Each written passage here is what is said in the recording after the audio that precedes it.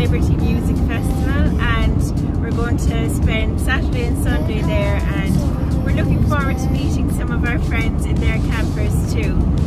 Watching you was such a thrill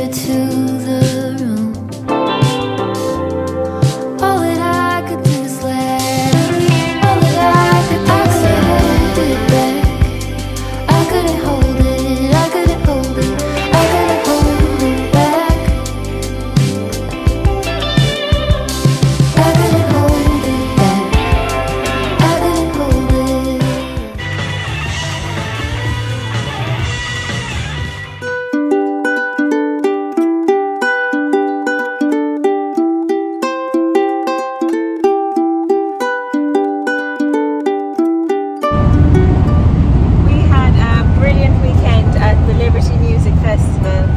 And we met up with some of our friends and